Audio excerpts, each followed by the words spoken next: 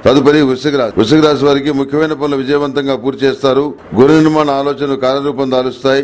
కుటుంబ సభ్యుల నుండి సహాయ సహకారాలు అందుతాయి.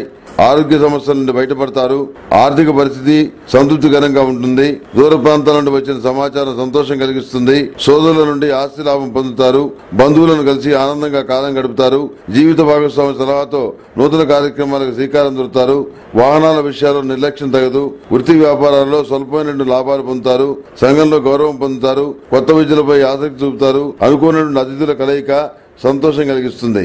ఈ వృశ్చిక రాశి వారికి కూడాను ఏలినాడు శని నడుస్తుంది కనుక ఎనిమిది శనివారాల శనికి తైలాభిషేకం చేయించడం అఘోర పాశుపత హోమం చేయించడం చెప్పదగినటువంటి సూచన.